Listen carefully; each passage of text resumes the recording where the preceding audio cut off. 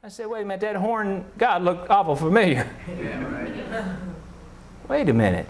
Now listen, man, I want to just, I'm just telling you uh, what in just a couple moments, in a couple moments of research, what I came up with. You know, I spent a lot of time on this, and I didn't dig into a lot of facts about what they believe. I'm just telling you some of the people that you work with believe in this, and then they make fun of you. Oh, yeah, look, look at this. Uh, oh, uh, set up your magical altar. Make an altar pentacle. Spells for money. Wiccan black magic spells. Spell casting. Paganism.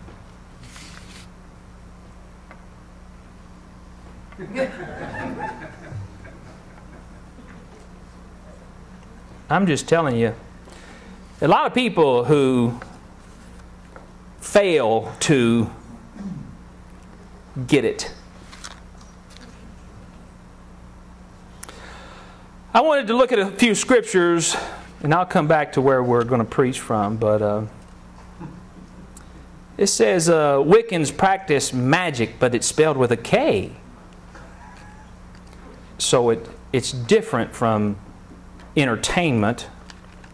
They manipulate the natural world and alter the mental and material conditions Tools of the craft include swords and spell books and chalices and censers and cords and crystals. Whether motivated by benevolent or malevolent, it's, un, it's, uh, it's condemned by the Scripture. Here, here's a, a, few scriptures Deuteronomy 18 uh, 10 through 15. If you'd like to just look at it for a minute, it says, uh, uh it talks about making your uh, kids pass through a fire or use divination or an observer of the times or an enchanter or a witch or a charmer or a consulter with familiar spirits or a wizard or a necromancer. For all these things are abomination to the Lord.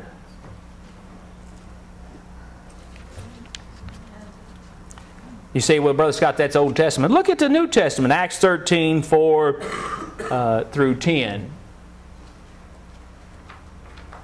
There was a fellow there. Go ahead and just read along. There was a fellow there uh, where Paul, uh, they, they, were, they were sent by the Holy Ghost. I'm going to talk about talking to God. They were sent by the Holy Ghost, and uh, uh, there was a fellow there that, uh, go ahead, he was a sorcerer.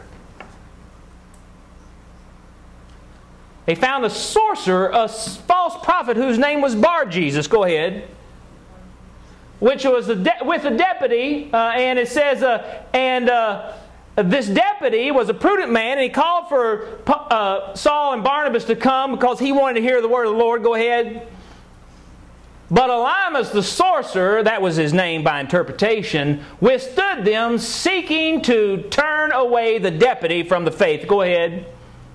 Then Saul, who is also called Paul, being filled with the Holy Ghost, set his eyes on him and said, O full of subtlety and mischief, thou child of the devil, thou enemy of all righteousness, wilt thou not cease to pervert the right ways of the Lord?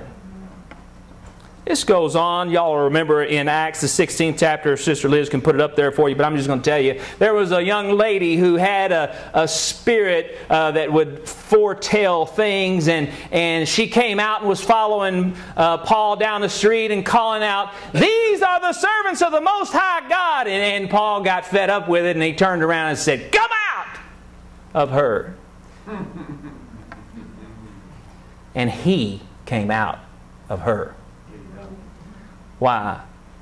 Because this is not just innocent, oh, I'm going to look and see what my horoscope says today. I'm going to let them look at my hand and tell me what my life entails.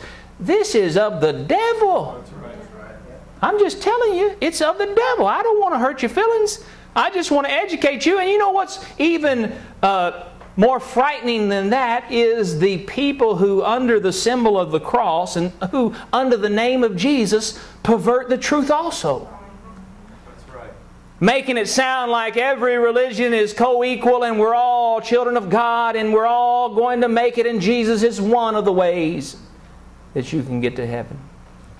But there are a whole lot of ways. Or perverting the, the gospel to say you can live any way you want to live and then it's going to be okay. Or that only certain people can be saved and God knows who it is and don't worry if you're not it, too bad. There's people who are seducing Christians today away from the faith and people that don't want you to hear the truth and they're tools uh, and they're agents of a higher spiritual power than what you think. They're not innocent. They're just being used as tools.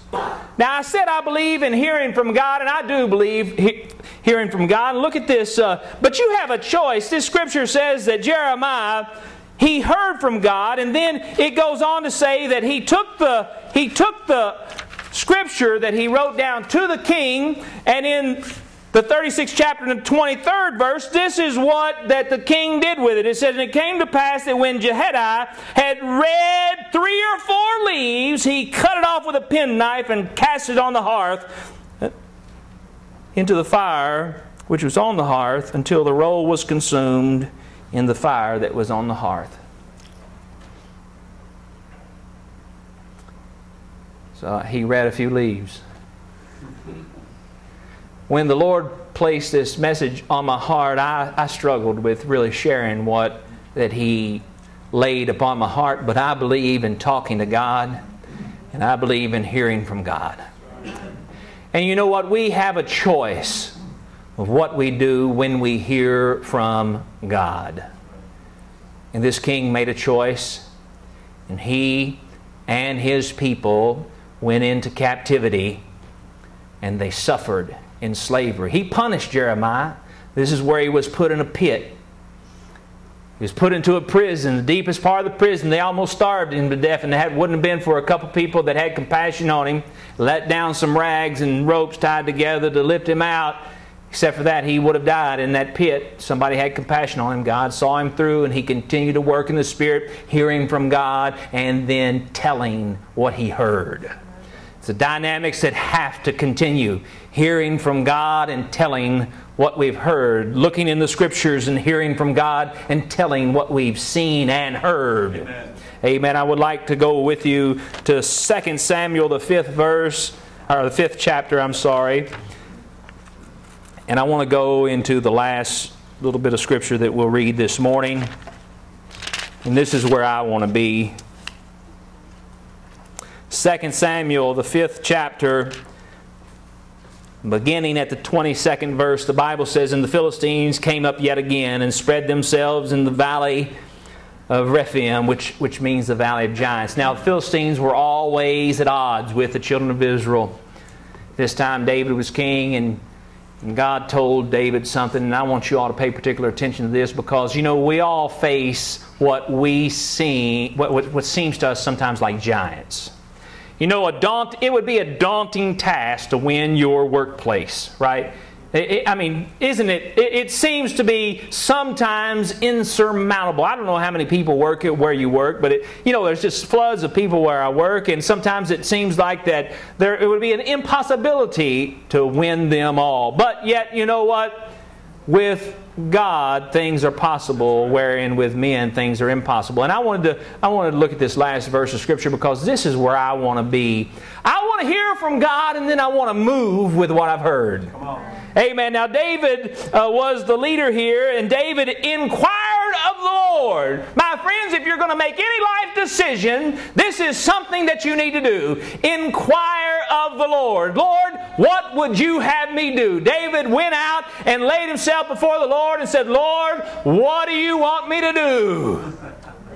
My, what a what a position to be in. Oh, yeah, Lord, what do you want me to do? If you want to make a life decision, pass the neon light right by. Come on down here, uh, slip in the door, and get down on your knees and say, Lord, what is it that you want me to do? What is it that you want me to do? Amen. Inquire of the Lord. Why? Because we believe in God. Mm-hmm. We believe that it's worth something to make a communication and a connecting with the unseen God because why? By faith we believe that He is. And we reach out beyond this world of emptiness to something that fills the void that we know has made a difference in my life in your life, in our lives, in this church, in this community. God is impacting this world through us. But we still need Him to talk to Him, to inquire of Him, and say, Lord, what would you have me do? You got to be prepared for the answer, though, right, Brother Ken? Listen, hey, uh,